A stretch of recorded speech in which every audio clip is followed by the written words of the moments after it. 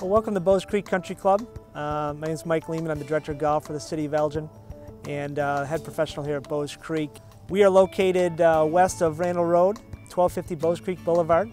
We are part of the uh, Toll Brothers community out here. Really a great, great venue uh, that's been developed here as a partnership between Toll Brothers and the City of Elgin. The golf course really has unique characteristics. I would say that 75% um, of the holes that are out here have water on them. They're not necessarily all in play, but uh, they are slice side uh, on many occasions. All the golf holes are really kind of framed up very nicely by the bunkerage that's out there. Uh, the bunkers are one of our unique features. These bunkers really kind of face you uh, when, you're, when you're hitting your shots. Uh, big faces on them, uh, fescue grasses that lay over the top of the bunker. So a little menacing, but can be handled with proper technique. The greens themselves are, are, are decent size, uh, but not oversized. So you won't see the, the, the, super large greens at some of the golf courses that are out there. Uh, allows you to hit a precision shot and be rewarded for such. Well, welcome to the 18th hole at Bowes Creek Country Club. Uh, great golf hole.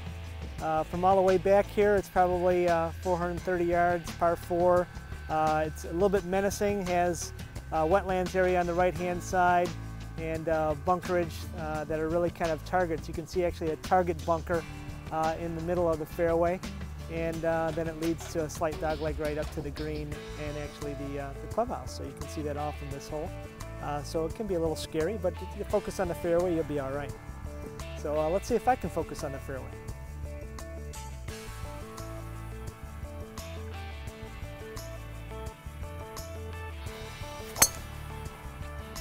So many golf courses, they focus on one hole and say that's our signature golf hole, but there's so many unique experiences. All these golf holes offer something a little bit different. Uh, this one certainly is one of those holes that kind of keeps you coming back for more, and, and that's what I like to see uh, with, with my patrons. I want them to, to experience a, a, great view uh, before they finish up, and that's what number 18 does for you. Obviously, I'm here in the bunker. Don't go in the bunker. Um, but if you are, you're going to see uh, some tremendous height on the, on the face and the wall of this bunker. Uh, you can see that these German eyebrows, if you will, kind of hanging over, uh, getting ready to capture your ball. Here we go. yeah.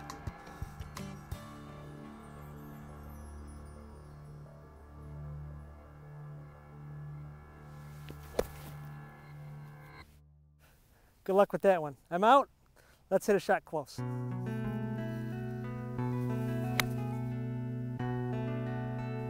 Well, we made it up to the green.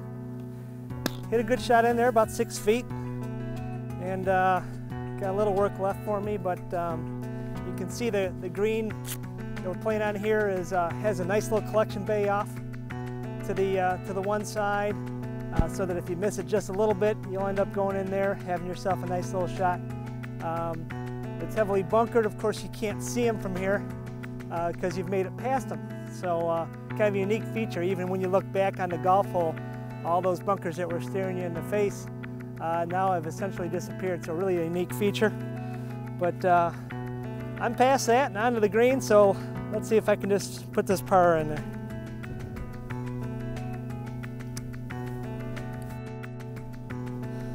thinking it's pretty, pretty straight. Those are the most difficult sometimes.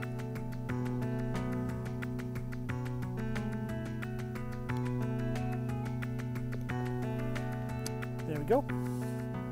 We're standing here on the tee box of holes six and three. It's a joint tee box and uh, heading out to the, to the east is a par five, hole number six. Uh, obviously it has a lake on the right hand side, which visually you're not supposed to really identify, just focus on the fairway. Uh, again, another target bunker out there and um, fairway actually splits and, and uh, a creek rolls across it uh, where you enter to a peanut shaped green. Off to the right over here uh, is our hole number three, uh, which is a great par three. Hits you early in your round. In case you want to double clutch on this one, there's an, that lake also uh, takes care of things on the left-hand side. So uh, your bailout area is a bunker, and your double clutch is a is a water hazard.